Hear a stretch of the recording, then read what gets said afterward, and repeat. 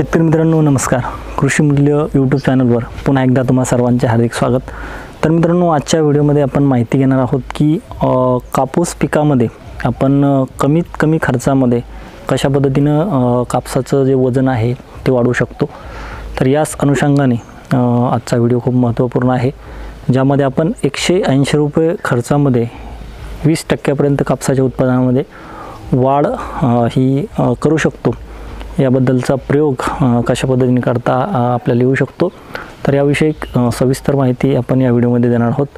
जे कोणी मित्र आपल्या चॅनलवरती नवीन आले असतील त्यांनी चॅनलला सबस्क्राईब करायचं आहे. बरोबरच बाजूचं बेल आयकॉनही प्रेस करायचं आहे जेणेकरून यानंतर टाकले जाणारे व्हिडिओ तुम्हाला सर्वात प्रथम पाहायला मिळतील.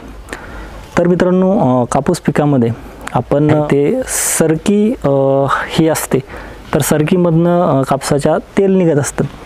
तर त्या तेलाचं प्रमाण वाढीसाठी आपण जर सल्फरचा वापर केला तर निश्चितच त्या सरकीमधील तेलाचं प्रमाण जे आहे ते थोड्याफार प्रमाणात म्हणजे जे प्रमाण त्याच्यामध्ये आता आहे त्यामध्ये ॲडिशनल वीस टक्के जर त्यामध्ये वाढ झाली तर निश्चितच कापसामध्ये सुद्धा आपल्याला ॲडिशनल वीस टक्क्याची वाढ ही मिळू शकते. आणि खर्च काही नाही सिजंटा कंपनीचं जर तुम्ही घेतलं तर सल्फर तुम्हाला एक किलो एकशे ऐंशी रुपयात मिळतं. आणि ऑदर कंपन्यांचं त्यापेक्षा स्वस्तसुद्धा तुम्हाला मिळू शकतं. तर याचं फक्त एकरी एक ते दोन किलो. या प्रमाणात तुम्ही जर सल्फरचा वापर केला तर तुम्हाला माहिती आहे की तेलवर्गीय जे पिकं असतात त्यामध्ये मोठ्या प्रमाणात सल्फर युक्त खतांचा वापर होत असतो. नसता डायरेक्ट सल्फरचा वापर होत असतो. तर त्यामध्ये त्याचा वापर सल्फरचा वापर केल्यामुळे तेलाचे प्रमाण त्या पिकामध्ये वाढत असते त्याच पद्धतीचा प्रयोग हा आपण कापूस पिकामध्ये जर अवलंबला तर निश्चितच त्यामध्ये तुम्हाला चांगल्या प्रकारे फरक हा पडू शकतो या काळामध्ये.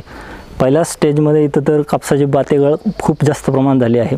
आणि खर्चसुद्धा खूप शेतकऱ्यांचा जास्त झाला आहे. त्यामुळे कमीत कमी खर्चामध्ये आपण जर एकरी एक ते दोन किलो या प्रमाणात सल्फरचा वापर ड्रीपमधून दिला तर निश्चितच तुमचं कापसातील जी सरकी आहे त्यामधील तेलाचं प्रमाण हे वाढण्यास मदत होईल आणि त्याचबरोबर तुमचं उत्पादन वाढीसुद्धा त्यामधून मदत होईल. तर मित्रांनो व्हिडिओ आवडला असेल तर लाईक करा आणि इतरही शेतकरी मित्रांमध्ये शेअर करा व त्याचबरोबर आपल्या कृषीमूल्य यूट्यूब चॅनलला सबस्क्राईब करा. धन्यवाद.